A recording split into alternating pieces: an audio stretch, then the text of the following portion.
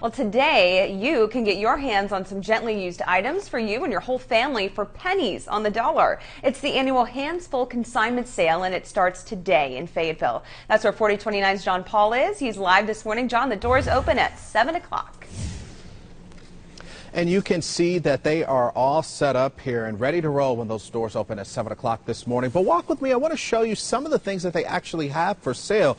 And particularly if you're a new parent like me, the items that will cost you the most. They are here and they are half price. Like the booster seats right over here, Kelly, they're $25 each. They have car seats here uh, as well as the base if you need an extra base for the car or so. Again, this is all here for you. You can find items for your kids, your babies, your home, and for yourself here this morning. Now, I want to show you some video that we uh, got yesterday as the group unloaded all of the items that you'll find here this morning at the gymnasium behind Trinity Fellowship Church in Fayetteville. The semi-annual sale allows the nonprofit to raise money to help our community.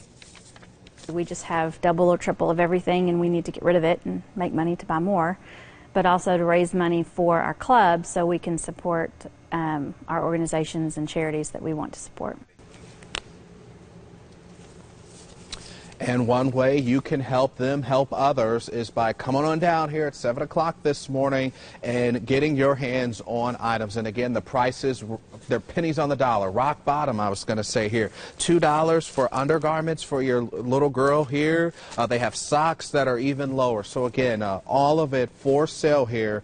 And Saturday, you'll be able to get a lot of the items here for half price. We're live with you this morning. I'm John Paul, 4029 News. John, this was the perfect assignment for you. You are a new dad, and now you kind of get the first pickings out there. Pretty neat. All right, well, have fun shopping. Thanks so much. And the hours for that, again, it starts today at 7 a.m., goes until 2 this afternoon.